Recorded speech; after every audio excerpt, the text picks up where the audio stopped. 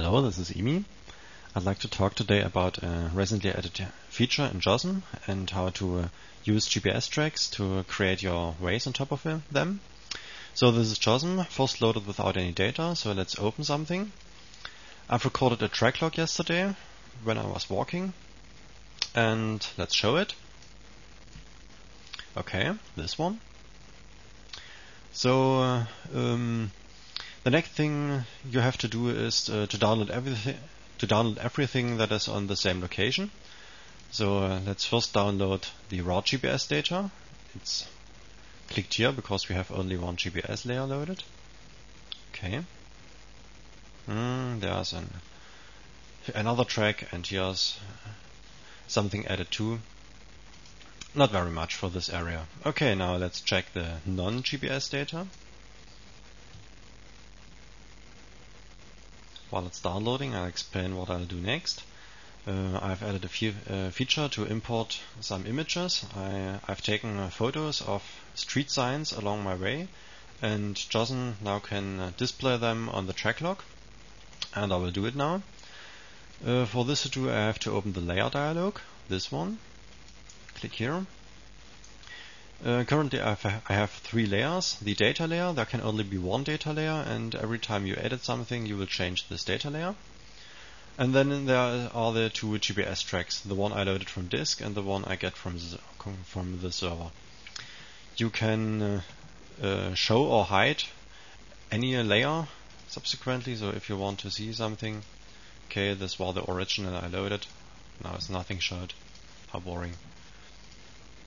So, now let's import the images. Right click on the uh, GPS layer you want to import them. You have to use a GPS layer as base because uh, the uh, images get associated with the coordinates. Then choose import images. Then select any JPEGs. I have them in this directory here for the yesterday. You can select the whole directory or you can go into and multi-select anything. So let's open it here. Now the images get read.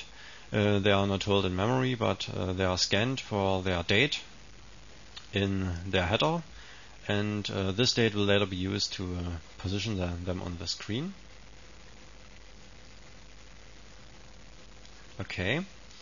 Now I have noticed that uh, they are not, they are out of sync. I uh, actually take your photos the whole way long, so let's check it out. You can use info then you get the GPS start, okay, at this time. It's in the track log of a GPS recorded. And you got the, uh, your images and they are this time, so you see uh, the uh, thinks that the images are taken before the GPS track started, which is of course wrong.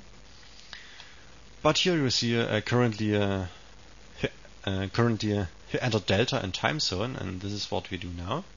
We have to sync our GPS track, track log recorder uh, together against our photo.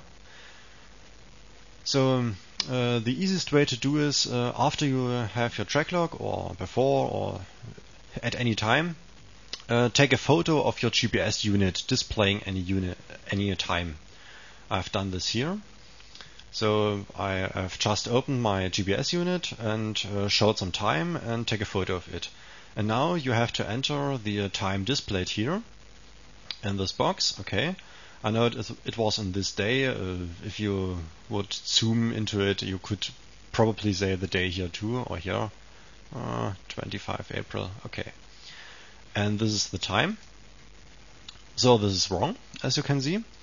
Uh, this is the uh, time that was read from the timestamp of the photo. So there's a sync error in both and you can here enter the display time it's about uh, 42 seconds and this one is uh, because most um, most GPS units no the GPS track logs are recorded in UTC but uh, most photo apparatus uh, photo cameras uh, take photos in uh, the local time Android. So here you can enter your time zone difference. This is usually the time zone difference you are living in. So I'm in Germany, uh, it is minus 2. So let's try it out, and yes, the uh, images get get the new position. You can check it in the info, and yes, they are all black. They will be turned to red if they are after the track, which shouldn't happen. So now you can click on any image and it gets displayed in a pop-up. You can zoom it just to see, okay, it was Silberblattstraße and am Waldrand. So now you can start entering your track. We have done it the last time bit. You have to first add any nodes. So you can move on your track. It isn't very accurate because I I was walking and uh, I wasn't paying attention that I was walking in a, in a straight, so I go a bit there, go uh, go a bit there. It will be roughly this, and you can use more uh, more precisely tracks to uh, correct it later on. So then you have to uh, line up all line segments. Now you can uh, use another trick. You hold down the mouse, drag it to the next node, and press space. And hold down the mouse, the whole thing along. Hold down every time the mouse. And this works because currently the map mode button, this one, has the selected focus, although you don't see it. And if you press space on any Windows or Unix ma machine, then it will just activate the current oops, the current focus, and this is exactly what you want to do. When you want to add a new line segment. So, and finally, let's check. This is Am Waldrand. This is the street 2, and here I have okay Sonnenblumenstraße am Waldrand. So this is probably am Waldrand. Let's check it here. Silberblatt am Waldrand, yes. So here's some Silberblattstraße going from. So this street is the Am Waldrand street. So let's first select everything. you can hold Shift down to add anything to the to the selection. Okay, this one too. Now you have anything selected, and now you can press the Create Way. Ah, there's something something missing. Whoa, okay. Again, select anything.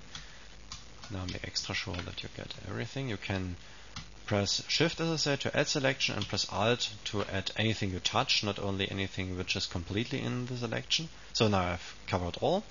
Now press Create Way. One way has been selected. Do you wish to add all segments belong to the way instead? No, since we want to add to the current way. Create a new way out of 8 segments. Um, Dawn. No, 2.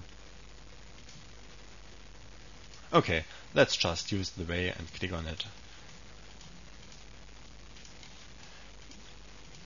It should work that you can add this way a way to it. Probably it isn't figured out in the correct way. I will fix it later. Okay, now, now you, you have added your Am Waldrand. Okay, it's get marked by an uh, by an star after the name because it has been changed. So let's upload the changes. This has to be added. Okay, some stuff and Am has been modified. Now gets uploaded. And that's it. I'm finished.